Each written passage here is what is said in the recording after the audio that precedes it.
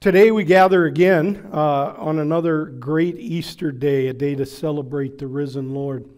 Uh, I'm, I'm standing between two objects that are in the front of our church here to remind us, uh, and, and it's two kinds of altars. This altar is an altar uh, that reminds us of the many sacrifices leading up to Jesus, but it reminds us too that Jesus comes among us through his body and blood. Uh, but his body and blood were truly spilt on another altar, and that's the, the altar of the cross. Uh, and it's because of that cross that Peter writes uh, in his second chapter uh, of his first letter But you are a chosen race, a royal priesthood, a holy nation, a people for his own possession, that you may proclaim the excellencies of him who called you out of darkness into his marvelous light. The most excellent thing that God ever did uh, was to die on a cross for all of our sins. Uh, and then to rise again, victorious over sin and death, so that we could all be his children. Children with a purpose, and that was to be his people and his priests. Once you were not a people, but now you are God's people. Once you had not received mercy, but now you have received mercy. We're here to celebrate the great things that He has done in our life. Let us worship our Lord.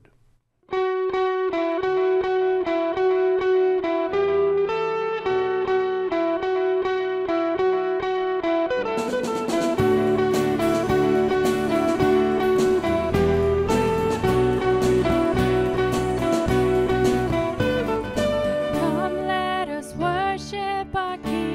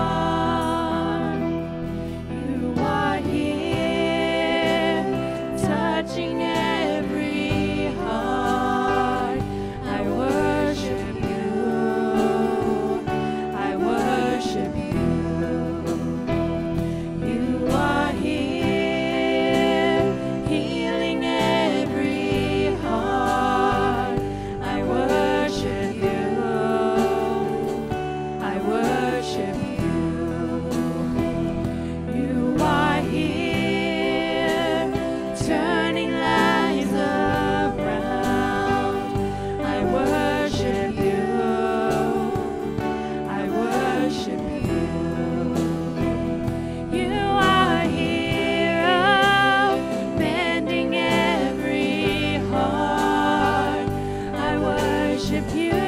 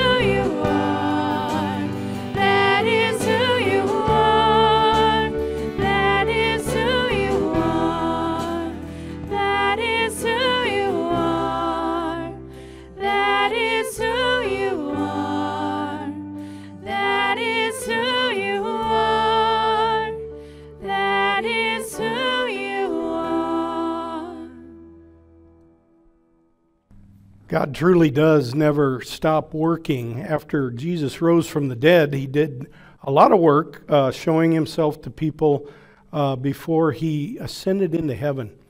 And then he sent someone who would guide and lead and teach and, and be with us and live in our hearts, and that's the Holy Spirit. Uh, and, and with that Spirit package, we've been looking at the fruits that come from having the Spirit of God live in us. We are a holy priesthood, uh, not in a, a, proud way, in a humble servant way like Jesus was.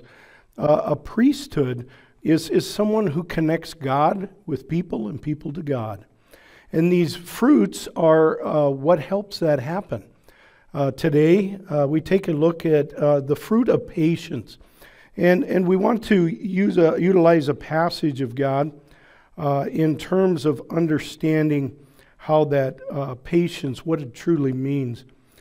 And uh, from the Word of God, here is a trustworthy saying that deserves full acceptance. Christ Jesus came into the world to save sinners, of whom I am the worst. Paul goes on to say, For, for that very reason I was shown mercy, so that in me, the worst of sinners, Christ Jesus might display his unlimited patience as an example for those who would believe on him and receive eternal life. You might want to get the kids ready because uh, Carly's here to share another message, this time focusing on the message of patience. Hi everyone, welcome back. Before we get to our lesson today, I was just making a quick snack. So, oh, I think it's done. Let's see here. I'm getting a little hungry. Oh man, I didn't wait enough time for the popcorn to finish popping. Now it's all full of kernels. I can't eat that. Sorry everyone, I wasn't showing much patience when I was popping my popcorn earlier. I should have waited until the timer went off, and then I would have had a bowl full of popcorn instead of a bowl for, full of kernels. And I wouldn't be complaining that I'm not eating my snack right now. But that brings us to our next fruit of the Spirit that we're going to be talking about, which is patience. Patience means is to stay calm and to not complain.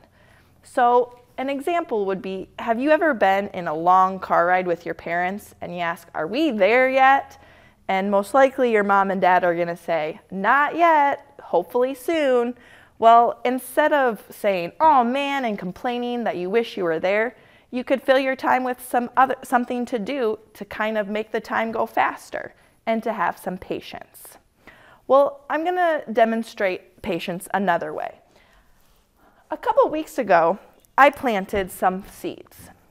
And instead of screaming, hey, grow already, I can just have patience and wait. And eventually, my seeds will start to grow and they will turn into a beautiful flower. The flower is going to grow uh, eventually, anyways, so I might as well feel good about myself and have some patience. And so, whenever you feel like you're anxious or you're not really calm, you can just ask Jesus to help fill you with his spirit of patience. So, let's say a little prayer real quick. Dear Jesus, when I am excited about something and have to wait, fill me with your spirit of patience so that I do not complain. Amen. Thanks everyone for joining me today as we talked about our fruit of the spirit, patience. I went back and I popped my popcorn for and I waited the full time and I showed my patience and now I get to enjoy a bowl full of popcorn. And today I want you to show some patience towards your mom, especially on this special day. Happy Mother's Day, and join me next week as we talk about our next fruit of the Spirit.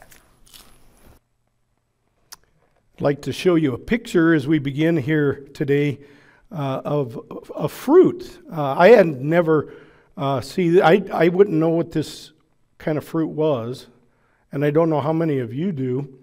Um, I didn't know what it was before this week, but I was delighted when I found out because I happen to like sushi. And this is uh, a fruit that I wouldn't even consider fruit, but I like eating with sushi, and that is uh, wasabi. And it's that green mushy stuff that can clear your sinuses uh, when you enjoy uh, your sushi. But uh, the reality of this fruit is it's really, really hard to come by. Uh, in fact, it grows wild in Japan, uh, out in the wild, and it it's difficult uh, not only to find places where it grows, but then to harvest it. And uh, only 5% of the restaurants in Japan actually serve wasabi. And, and so you might ask then, what in the world are we eating with our sushi? Well, actually, it's, a, it's mustard uh, mixed with a European horseradish, and then uh, it's got green food coloring in it. And so the reason that is is because uh, if you tried to buy wasabi, it's very expensive. It's $300 a pound uh, versus apples, which run about average $2 a pound. Uh, but one uh, gentleman from Canada decided he was going to try uh, to raise wasabi uh, either in a greenhouse or in a field in Canada. And uh, after 30 years, he came up with the secret. And the good news is that you can buy that secret for a measly $70,000. Now, the bad news is it takes $700,000 to raise one acre of, or, or, to get a field ready to raise wasabi. Uh, and then on top of that, the other bad news, you got to wait over a year before you can harvest any fruit. Talk about patience. Uh, you know, some people would say that patience is as rare in our society as wasabi. And I'm here to tell you today that that's just not true. In fact, patience is truly at an abundance, even though we often don't utilize it. Or we might even make jokes like, Lord, give me patience and do it right now, because we have trouble being patient. And yet, God is the one who wants us to have patience. And God is the one who wants us to do His will, and that's to utilize the patience that He so freely gives. Paul says in Galatians about the fruits of the Spirit, about the Holy Spirit, that we already have the fruits because the Spirit lives in us. And because of that, we don't have to manufacture patience. We don't have to try to learn patience by growing wasabi or, or doing something else that takes a tremendous amount of patience. Now, today you and I have the ability uh, to be able to know that that is in us. Have you ever been around uh, those that practice patience? Uh, if you have, you know what a joy it is. It's, it's truly a joy to be around those people. They, they have less stress, and studies show that people with less stress are healthier. Uh, the, the studies that show that health and lack of stress go together. Who of us would not want to be and have more patience in our lives? But before we get into the conversation of, uh, of, utilizing patience, because the reality is we have it uh, but there's a difference of having it and then employing it, using it in our lives to bless others and, and be blessed ourselves. And in our passage today, in, in 1 Timothy, that I read just a, a moment ago, uh, this is a passage that actually talks about um, when, when, we're, when we're called by God, when we have this Jesus, by the way, this is a confession of the Apostle Paul. He, he says, I'm the worst of sinners. And uh, while he was saying that, he, he also knew that this patience is, is, is, a, is an enduring patience. It's a, it, it says that it, it's complete.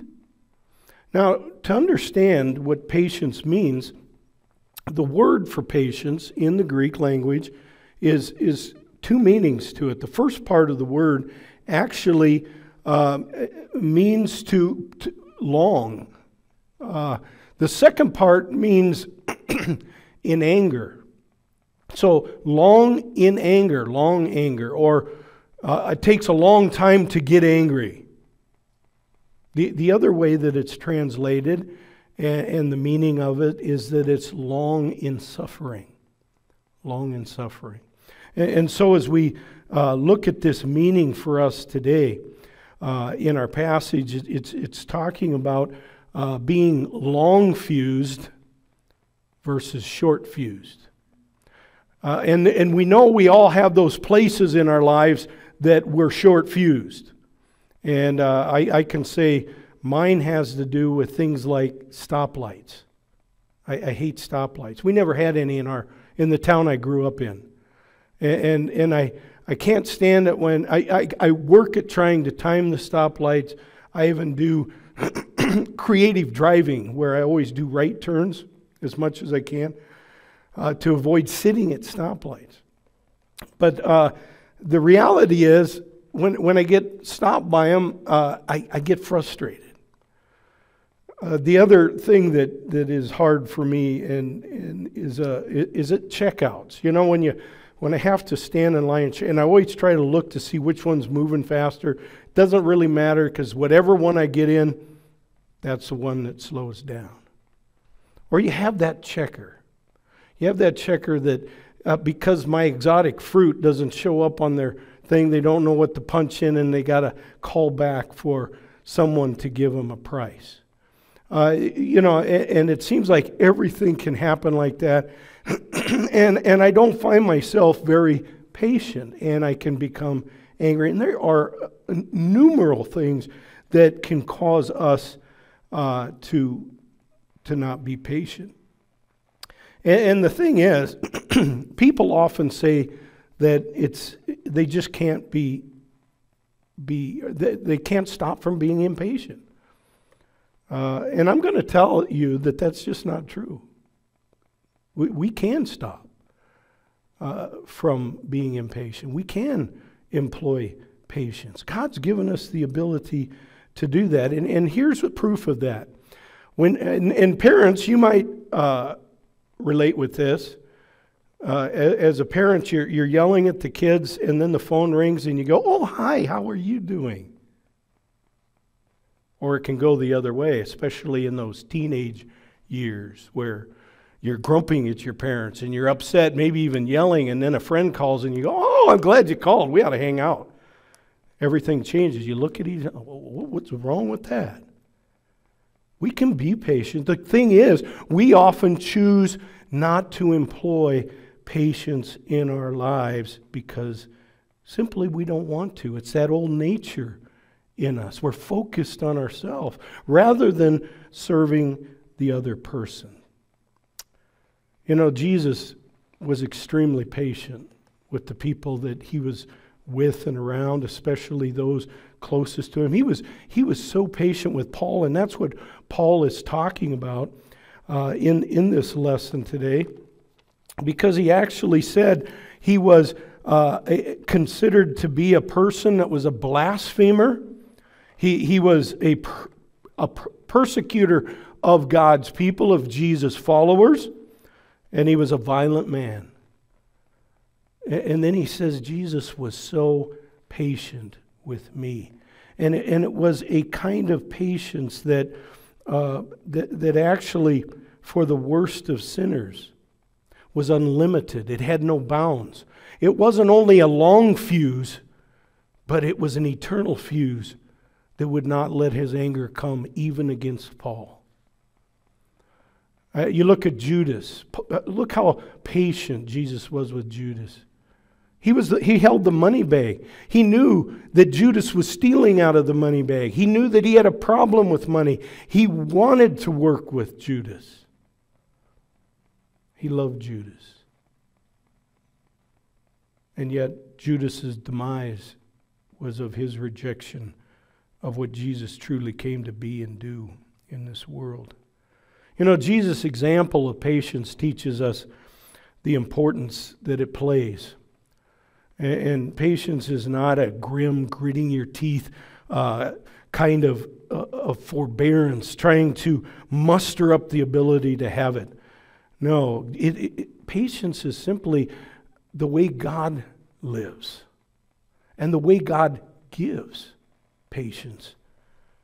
It's a joyful mercy that, that comes from Him naturally. And because He has placed that in us, we have the ability in us, the power of the Holy Spirit to display that same joyful mercy to the people around us. In Jonah chapter 4, verse 2, uh, by the way, Jonah was very impatient. Jo- Jonah was, God sent him to Nineveh. He had no patience for the Ninevites. He, he thought they should just be wiped out. And so instead of going to Nineveh, uh, we all know he got swallowed by a fish because he got on a boat and headed the other direction. And when God finally got his here's here's what Jonah had to say after God forgave the Ninevites. He goes, "And he prayed to the Lord and said, "O Lord, is not this what I said when I was yet in my own country? That is why I made haste to flee to Tarshish, for I knew, and here he is, I knew that you are a gracious God, you're merciful, slow to anger, and abounding in steadfast love. Yes, that's our God. That's the God who sent his Son, who was the same way with all of those who were persecuting him and wanted to nail him to a cross. See, the reality is that um, that checker that, that I get so frustrated with that has to call in, there's a big picture here. And when we come into contact with people in our lives, even when we're when, when our, our patience is being tested, uh, the, the bigger picture is this checker is a, is a woman that has three children at home. And she's raising these kids by herself. And she's always working a full time job, and now she's, she's working more hours to, to make more money. And she's putting her life on the line by being there behind the plexiglass during the COVID pandemic to serve me.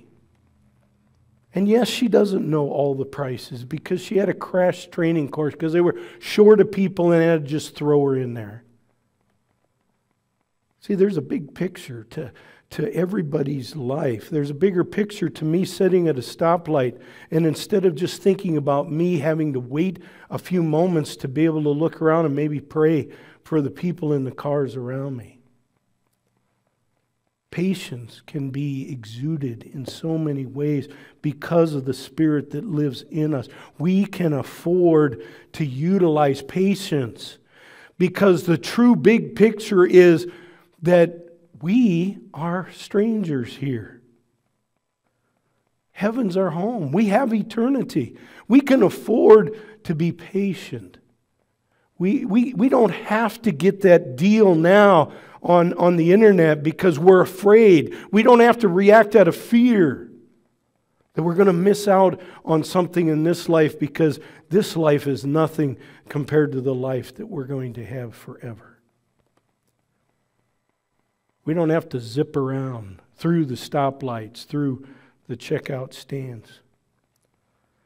It is when we refuse to be patient that we get ourselves in trouble. The Bible, this book, is full of God working with, in fact, all the people he worked with were impatient. And we can name one after the other. But I'm going to only pick one. It's going to be Abraham and Sarah after he'd given them a promise, a promise that they would have someone that would carry on the promise of God saving the world and that that Savior would come from Abraham himself. They became impatient. Sarah offered his, her concubine, Hagar, to Abraham so that they could fix what seemed to be so slow about God. And we know the results of that. In fact, the results are still being played out today. You know, there are Arabs and Jews still at each other's throat over there, but regardless of all the fallout that that impatience called, caused, God still worked with Abraham. God still carried out his plan of salvation through him. And it shows that he is patient with us, he's long suffering. You know, there's only one letter between the two words anger and danger. And I don't think that's by mistake. One letter away. When we're impatient, we're in danger. When our anger is what's driving us, we're in trouble. In Proverbs 29, verse 11, it says, A stupid man gives free rein to his anger. A wise man waits and lets it grow cool. It's easy on our human nature to give free rein to our anger.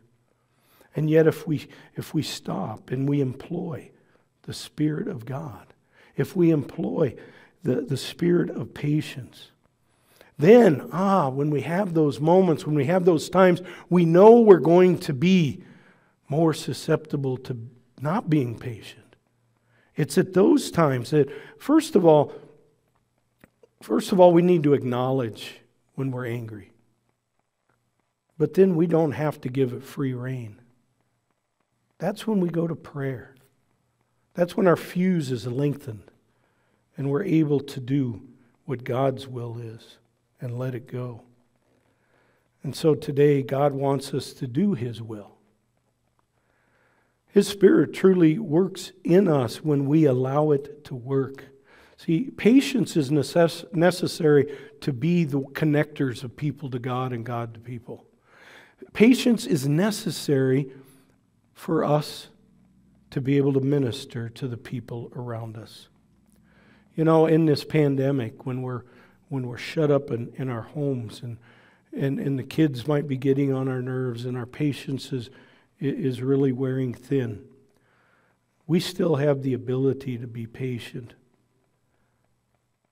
You see, even though our patience wears thin, God's never does. God's is always there in abundance. You see, you can do this. You can do this. You, you can uh, exercise patience no matter what the circumstance. Because patience is in abundance, unlike wasabi. Really, God's patience is in us. God, God's patience is there. His, he is long suffering. He proved that when Jesus suffered even unto death on the cross. God, God is long in anger. In fact, it's ultimate. There is no fuse that burns out with God. And because of that, He forgives our sins. He reminds us that our sins are forgiven every day of our life. He treats us gently, like a like a project in progress, a work in progress. And so when your patience is being tested, you can be confident that the Holy Spirit is there helping you to bear with one another in love. Because patience is an act of love. Amen we pray. Gracious Father in heaven, you are such a good Father. Um, we, we have had the privilege and we, we thank you that we have been able to, to experience the, the fruits of the Spirit uh, that you have given to us through the power of your Spirit. But we have we've experienced these, and we praise you that we've experienced these fruits from you yourself, especially your love, the love that has come from you in such a uh, a powerful way through your Son Jesus, the one who was the exact rep- representation of of who you are and your love for us. We thank you that He had loved us uh, with your heart even unto death on the cross. Lord, we thank you that He is victorious over sin and death. And, uh, and, and we ask you, Lord, to Uh, help us to never take that for granted, that uh, you loved us enough to make us your children forever and ever. That is what brings us the true joy, the joy that we have to experience uh, it, no matter what's going on in our lives here. Lord, bless us with that joy uh, that can never be taken, one that will go with us even into eternity. Lord, we also thank you for uh, peace, the peace that comes, the peace that is different than any kind of peace in this world, a, a, a peace that's there in our hearts in all times and in all situations. Bless us, Lord, with your patience today, a patience that uh, we have experienced from you, one that is long suffering, but one is also uh, long in, in not being angry with us. And in fact, your anger was taken out completely on the cross. Thank you, Lord. Thank you, Jesus, for, for taking that, that anger on yourself, that punishment, so that we could be free. And now we ask that you would use us in a special way in every situation, with every person that we come into contact with, to be long suffering for them, to, uh, to be able to exhibit the peace and the joy uh, instead of anger and frustration. These are times that can cause us to, to be short fused, and we ask that you'd help us to be long fused as you have been with us. And Lord, we also thank you for uh, the blessing of being uh, a part of a bigger picture, the big picture of uh, your kingdom, your body, uh, at work together. Every uh, every stone that has been put into the body of Christ, the building that is being erected, the church. We know, Lord, that it's difficult for, for those that are being persecuted around the world we know that it, it it's hard to be patient and and at peace. And Lord, we pray that for those that are being asked to uh, to to give up their family, to give up their homes, uh, to be persecuted and thrown in prison. Oh, Holy Spirit, you have brought the message of the Savior to Central Asia and swept many in that area into the kingdom of heaven. Let the word of God be brought to all who are spiritually hungry in that place, including the little children. Strengthen the weary and encourage them.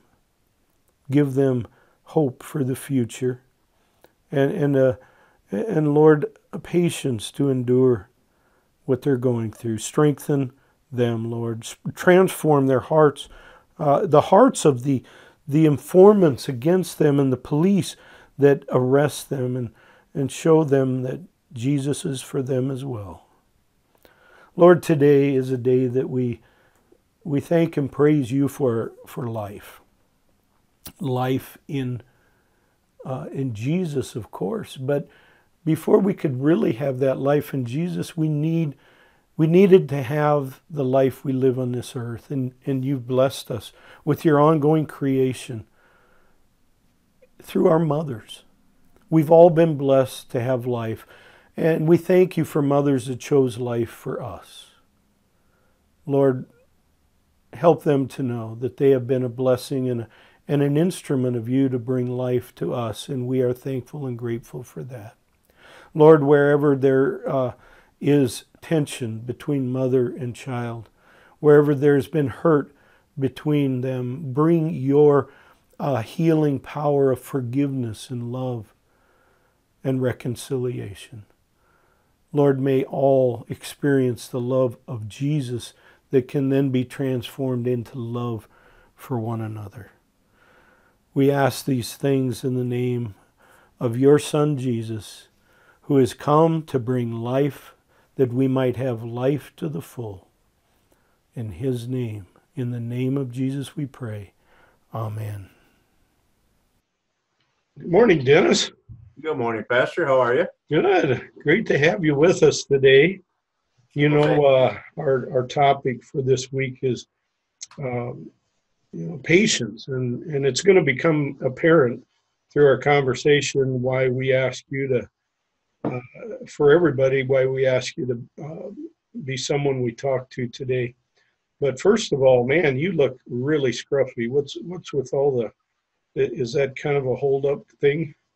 Yeah, yeah. You know, I just getting the mountain man look from staying inside, but that's okay. You know, Yeah. they uh, don't anticipate opening at least till the twelfth. So Goes goes with the cabin fever. Huh? yeah.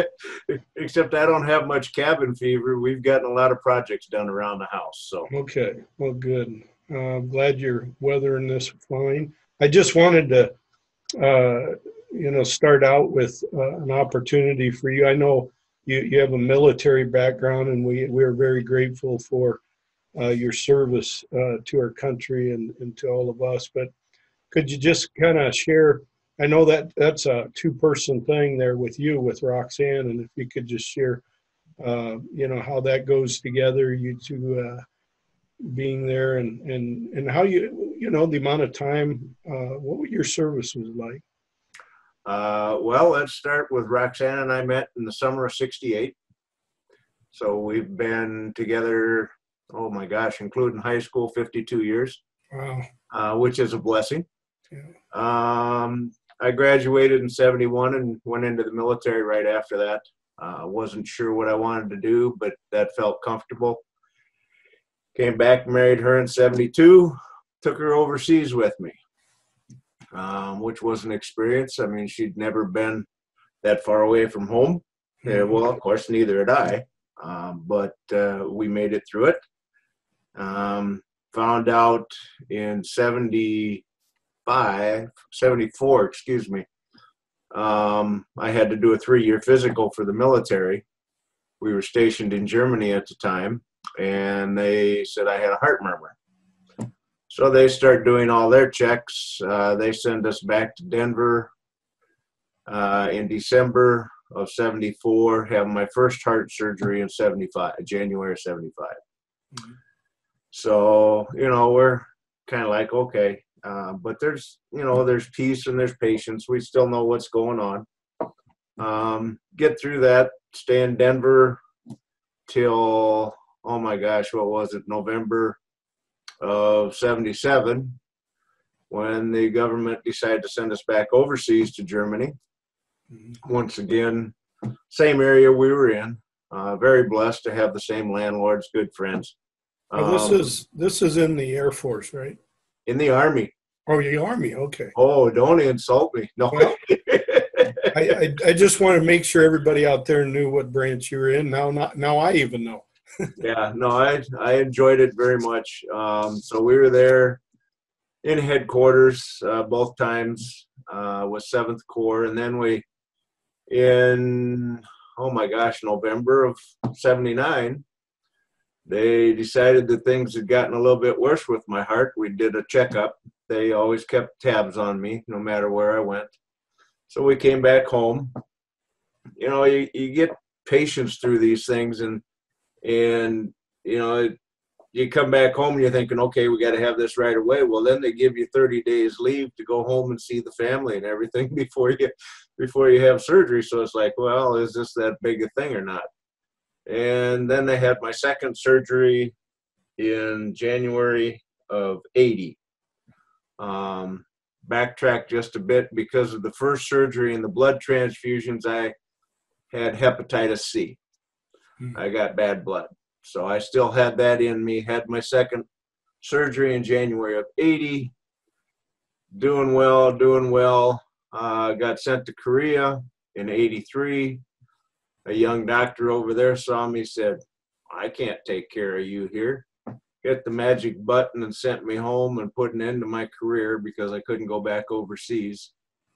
So they medically retired me in October of 85. So I spent just over 14 years in the military.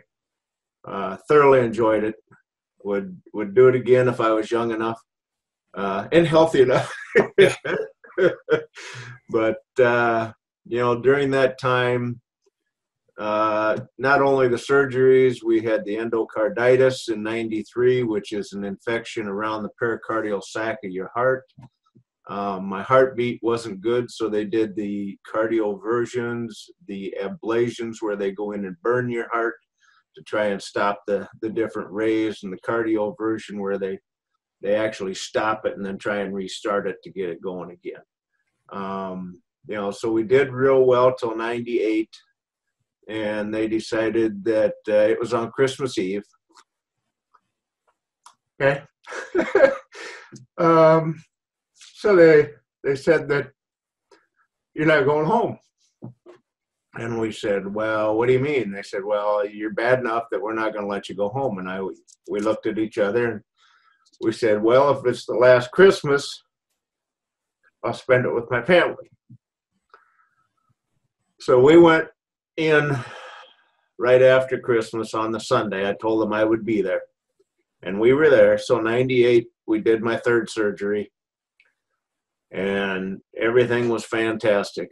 Um, we moved up here in 2007, you know, and everything was well. Went to uh, the heart hospital over here, saw the doctors there for a little while, and finally one of them says, There's nothing we can do for you.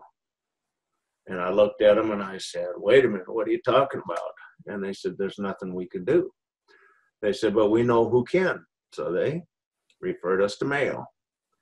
And that was a godsend you know, and it was it was a, a godsend to come up here because in '98 they were deciding whether to send me to New York to Mayo or actually do my surgery in Denver. Well, the doctor that did the surgery had actually come from Mayo to Denver, so he knew what was going on. So he did the surgery.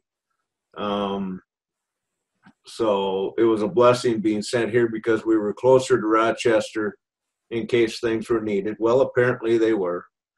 Um, as you know, I retired from work in March of 15. Had my Milrinone pump on me for three years, which the medicine assisted me with my heart functions so that I could live. Um, things progressively got worse. And as you know, we went in in August uh, 16 and here I am.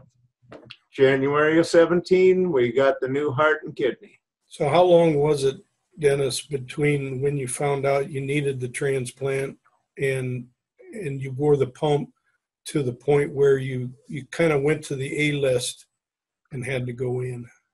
Well, it was almost a year and a half, two years.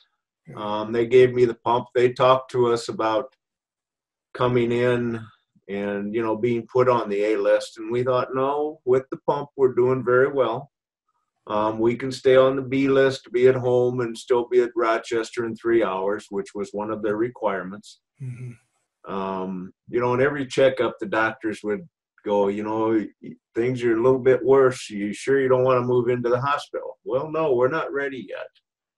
Um, we wanted to stay around the family and the church and, and everything our family, yeah. meaning the immediate family and the church family, as long as we could. But then it, it, but then it became a point where it couldn't wait any longer. They said you need to be on the A list. Yeah, they. Uh, we went in. Um, oh my gosh, what was it in May?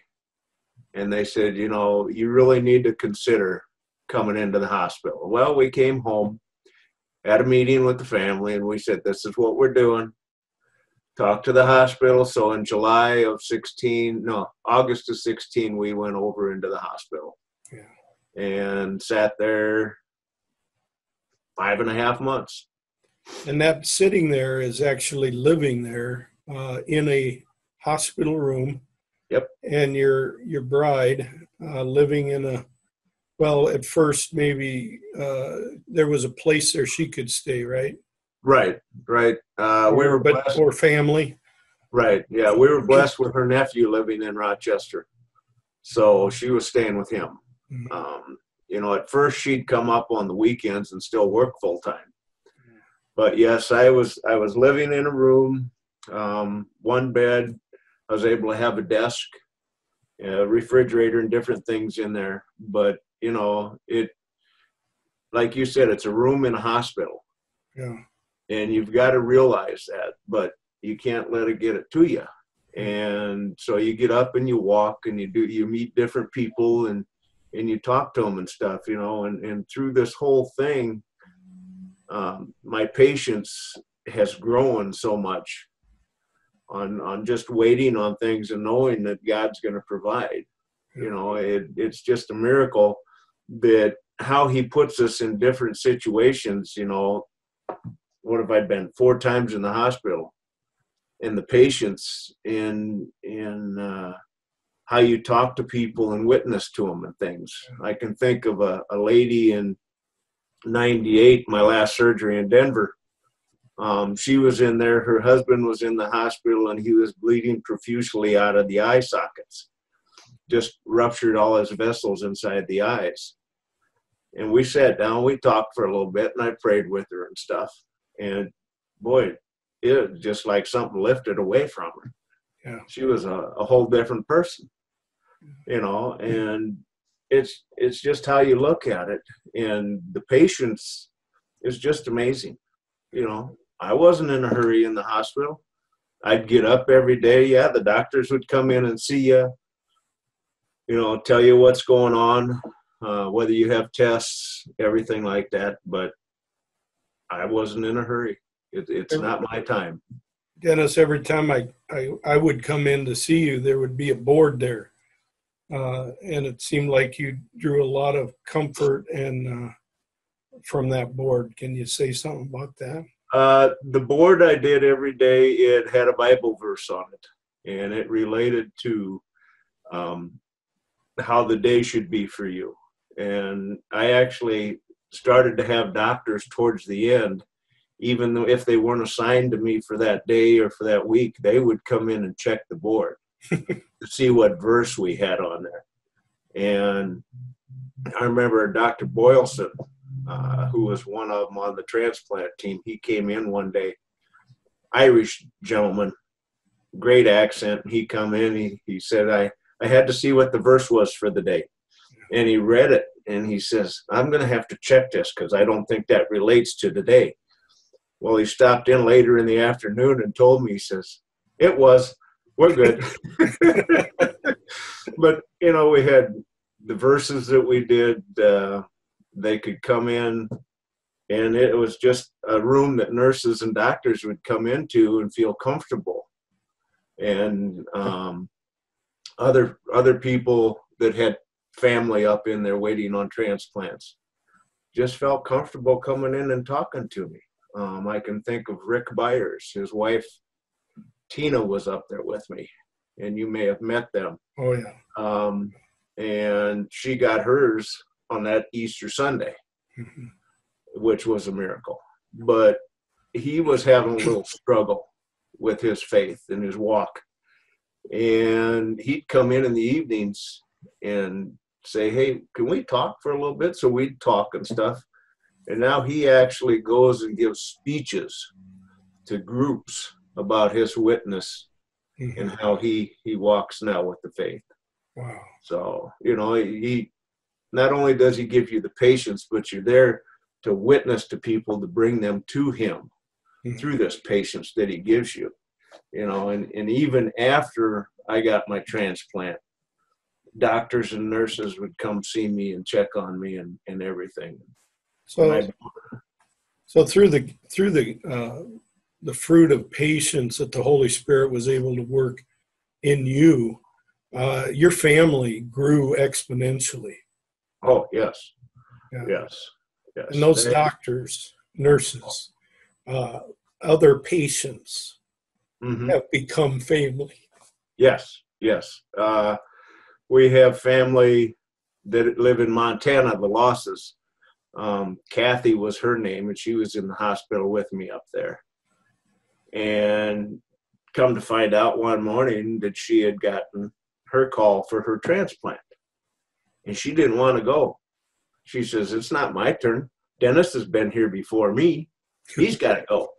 Yeah. And, you know, so I talked to the family and I says, she's got to realize that it's a blood type and all the antibodies and everything else that you have to match up. It's not my turn. I still got people I got to talk to, you know. And he keeps bringing me back here so that I can talk to people and bring them. You know, it's I love it.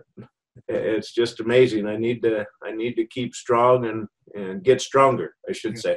Yeah. And uh, keep working.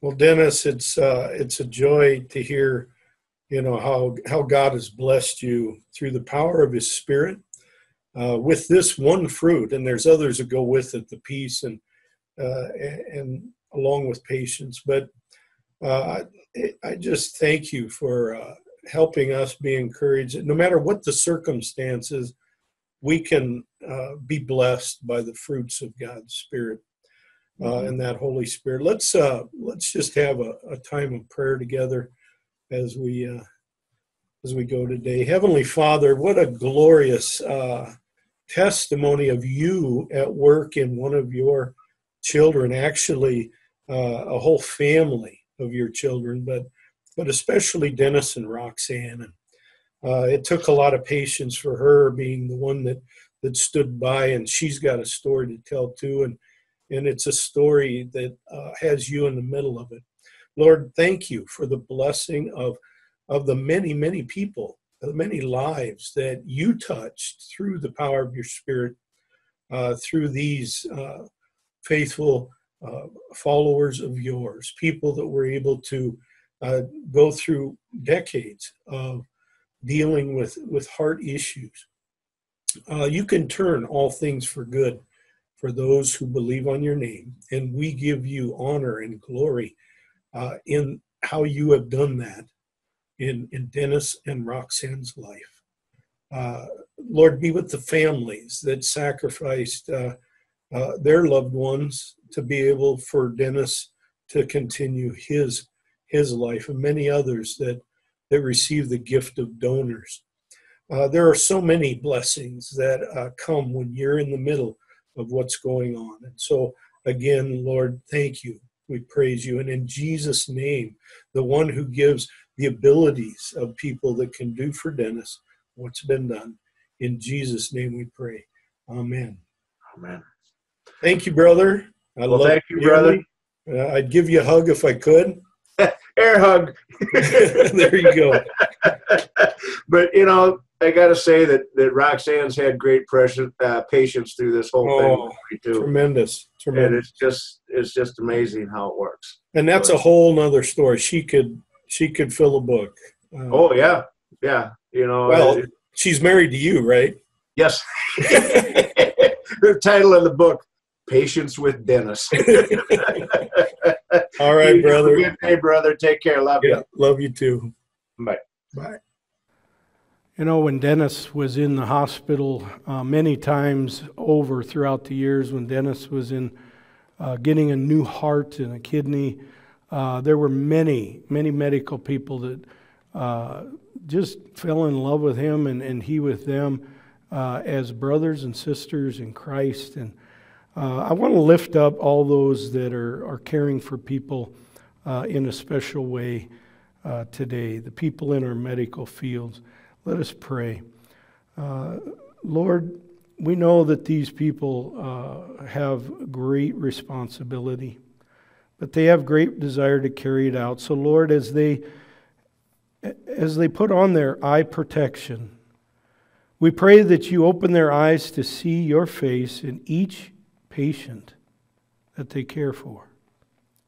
Lord, as they put on their mask, we ask that you, your words are on their tongue to speak your wisdom and comfort.